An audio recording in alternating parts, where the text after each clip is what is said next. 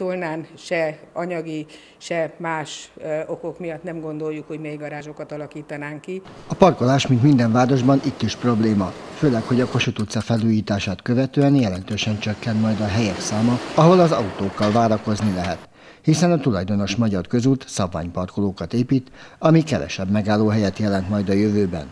A Perszhofer Ágnes polgármester hozzátette, a történelmi belváros védelme fontosabb annál, mint hogy adott esetben közel lehessen megállni mondjuk egy bankfiókhoz vagy egy bolthoz.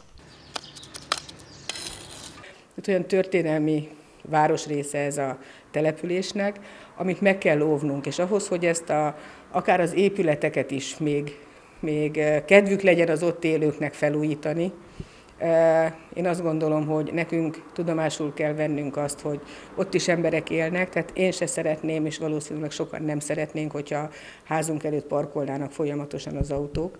Az érintett terület pár száz méteres körzetében több szupermarket van, jelentős méretű parkolókkal ellátva, amely kezelni tudja ezt a helyzetet. Emellé Tolna az elkövetkezendő időben újabb megállóhelyek kialakítását tervezi. Az alternatívák jelenleg tervezési szakaszban vannak, de rövidesen megoldás születhet a Kossuth utcában kieső parkolók számának pótlására.